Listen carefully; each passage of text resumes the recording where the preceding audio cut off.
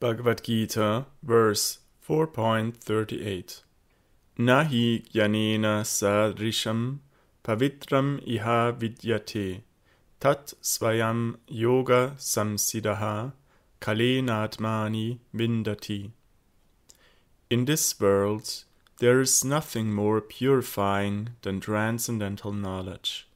A person who has attained complete perfection in worshipping the Supreme Lord by working without attachment to the fruit of his prescribed duty, spontaneously receives such knowledge within his heart in due course of time.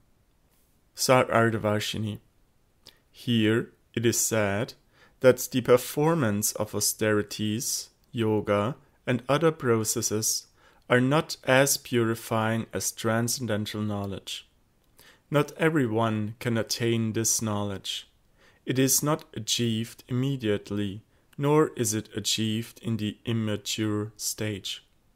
It is achieved after attaining complete perfection in worshipping Bhagavan by working without attachment to the fruit of action, Nishkama Karma Yoga, over a prolonged period of time.